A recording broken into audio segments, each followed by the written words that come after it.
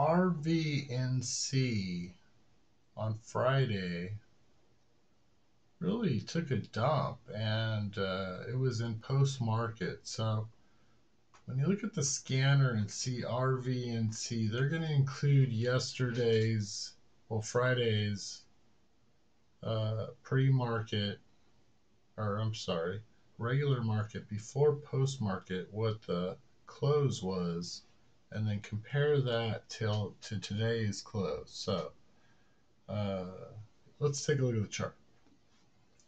So here we go. I did a video. This was Friday's biggest loser, and it just completely dumped here. And you can see the time. So 13 would be uh, post market, 1, 1 p.m. Uh, Pacific time is when post market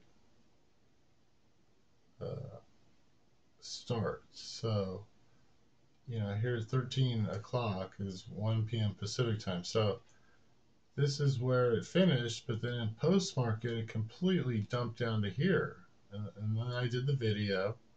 And so today it says it even dumped more. So it's including this right here down to here, the finish. And it said it was a 40.11% finish. But if you take that position and then go down to the low of the day, it was uh, 43%. So uh, that's where my video comes in. We get to see that it's continuing down even further for a, a second day.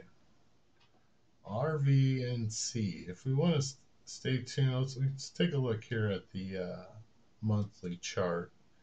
And I already have some trend lines from uh, Friday put in place. And it's uh, it's not looking so good. It looks like it could hit down in somewhere in here. And I put, oh, that's right. I put a trend line here at $9, uh, 939 a possible low, possible. So uh, stay tuned. Uh, this one could be a good short if you guys like to short it. RVNC.